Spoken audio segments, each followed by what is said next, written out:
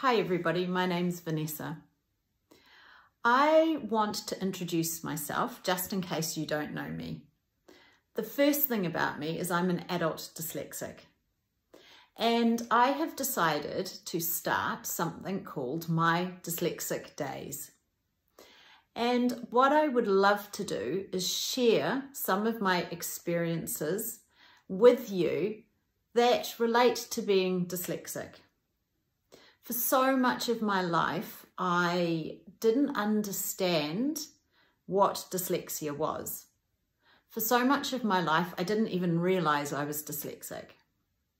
Like a lot of people out there, I simply thought dyslexia was all to do with reading and spelling. I now have learned so much more about myself and I can look back on things that happened in my life and I can actually see that being dyslexic um, was behind some of my challenges.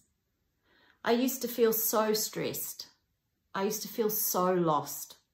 I used to feel so misunderstood. It was really like everybody else had this manual for life and Mine just had pages missing from it, or I just didn't seem as capable as other people.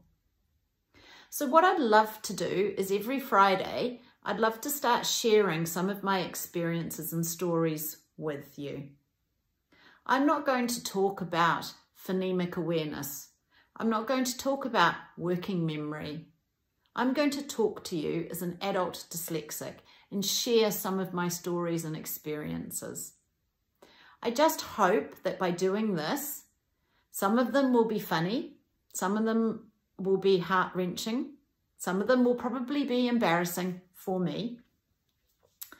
But I guess what I wanted to do is really start raising that awareness of what dyslexia actually is and how it actually affects us.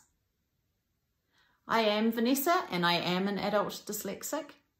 I also have a little dash of ADHD.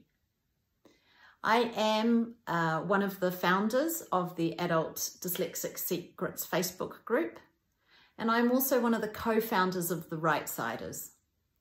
And now I am a licensed Davis Autism and Dyslexia Facilitator. So I come at dyslexia with all sorts of different experience.